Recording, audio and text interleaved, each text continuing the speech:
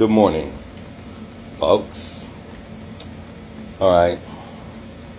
I have something's been on my mind for a while. I seen a video, and um, this guy says, "You know how you have goals in life, like what do you want to what do you want to be when you grow up? Your your dreams, you know, that's like Plan A." Okay sometimes you might not make it to plan A. Okay? This guy says when you go to plan B, your life ends and it's over. No, it's not. I, I, I do not agree with that at all because my plan A was playing football. I wanted to re- literally play football. I didn't like school. I didn't like doing do, doing nothing at school.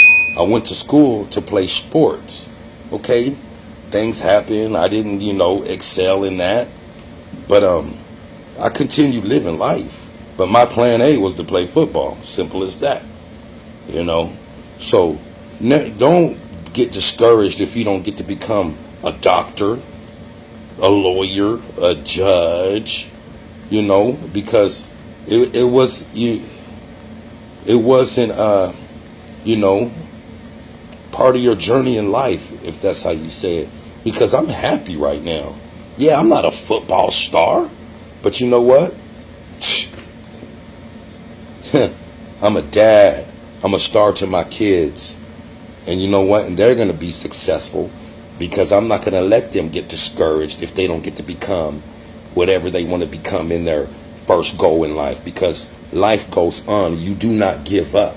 So that video about uh, just because you don't make it on your first dream, that's negative. I believe you continue life and you know, and there's goals, there's dreams, and you always strive no matter what. Yeah, I never was a school dude.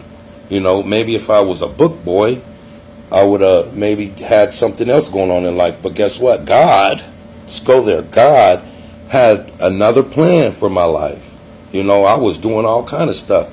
And he put me right where I'm at right now, and I'm happy.